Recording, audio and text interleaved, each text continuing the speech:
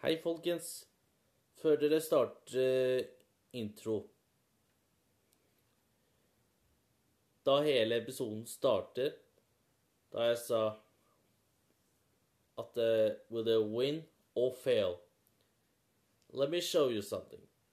If they get win, sånn er tommel opp, that sound like this.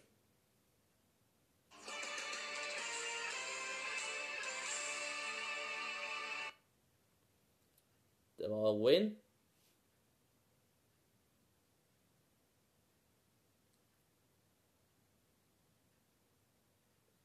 But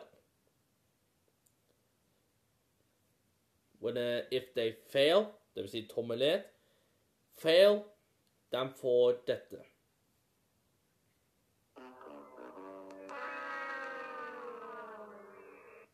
So now you know. Okay, folkens. Hit the intro, my friend. Kalle Klovn er en fattig liten hode som har mye rart i hodet. Er Kalle Klovn. Ja, Kalle Klovn. Hallo, Prosjekt Squad. Dette er Prosjekt Nile in the House.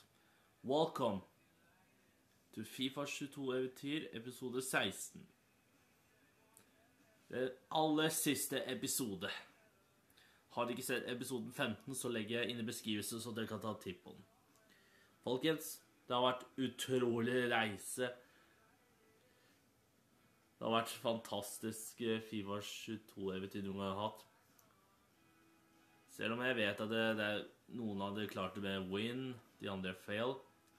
Det er, men det er bare for moro skyld. Jeg vet ikke om det kommer til å bli mer FIFA-eventyr. FIFA Kanskje en gang. Maybe Fifa 23 eller Fifa 25 eller 27. Det vet jeg ikke. Men hvis det blir det Man kan aldri si aldri. Men da blir, da blir det Volta-fotball som gatefotball. Who knows? Right now Siste lag, det er Bodø-Glimt. Who play against Roma. Eller jeg har Jeg så i hvert fall Bodø-Glimt Roma 6-1. Og spilte uavgjort 2-2 i Roma. Men jeg tenker Kan man Bodø-Glimt gjøre suksess her i Fifa? Win or fail? So Are you ready, folks? Sit back, watch, and enjoy. Here we go.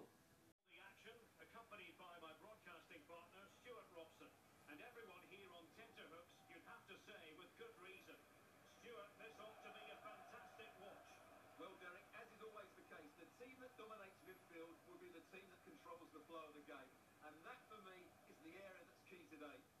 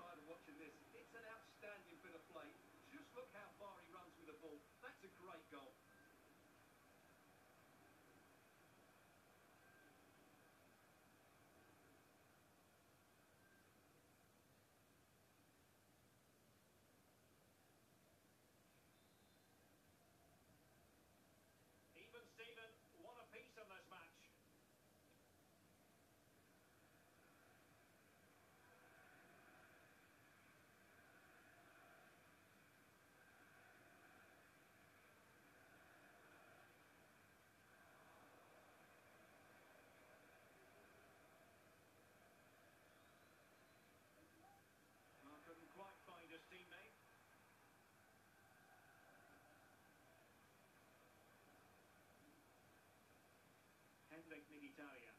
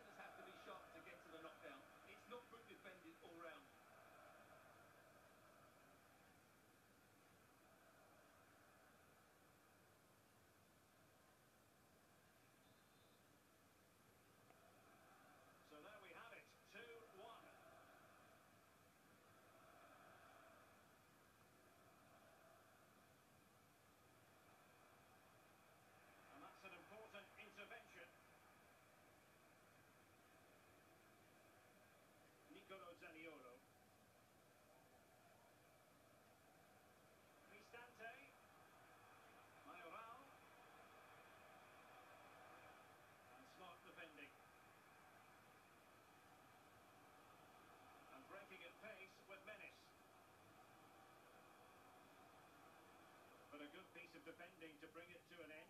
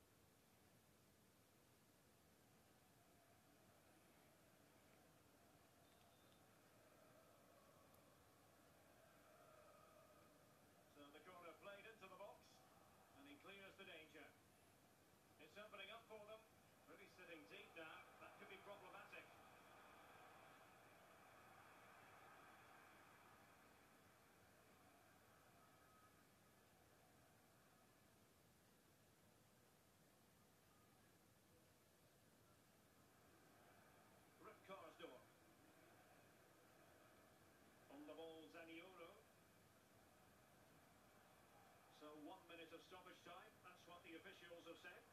Went in strongly, decisively. Well, managers will now deliver their half-time team goals. We're at the end of 45 minutes. Vel, Roma leder 2-1 i pausen.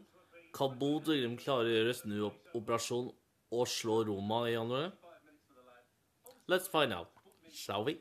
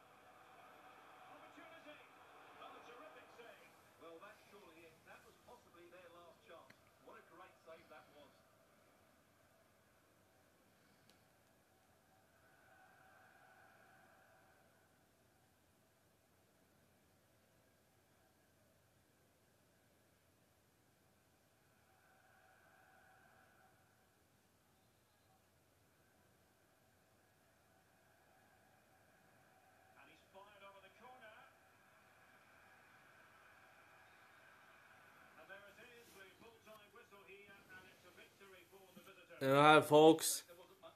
Siste fotballkamp er ferdig. Bodø-Glimt klarte ikke å slå Roma. Det var nesten, men but Bodø-Glimt fail. Men det gode nyheten er I got two team who won. Nei, det er ikke Bodø-Glimt.